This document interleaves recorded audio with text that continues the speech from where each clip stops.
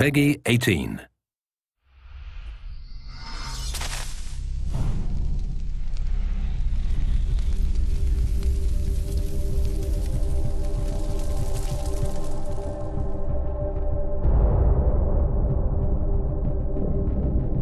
It's been two years since the occupation.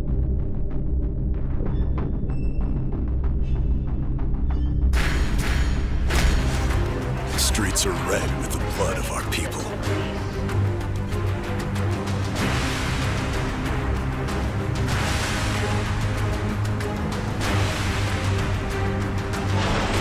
The time to stand and fight has come. The Second American Revolution has begun.